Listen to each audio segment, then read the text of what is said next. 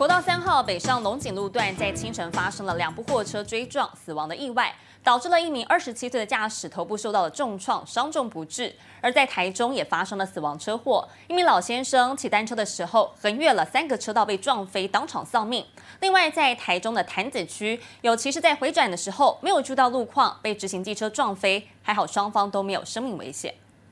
台中潭子复兴路段，穿黄衣的男骑士回转，被直行机车撞个正着，两台车倒地不起，还好双方只有皮肉伤。事故后，双方机车骑士均送医。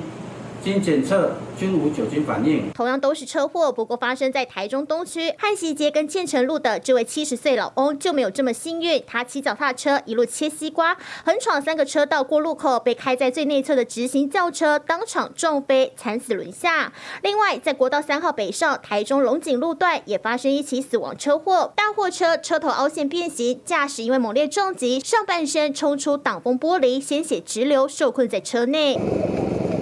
消防队出动破坏器材抢救，不过二十七岁的驾驶因为头部重创、腹部大量出血，仍宣告不治。警方调查，当时有一部货车故障熄火停在路边，这辆大货车从后追撞，导致货车擦撞另一辆连接车，而大货车驾驶冲撞护栏，不幸丧命。记者综合报道。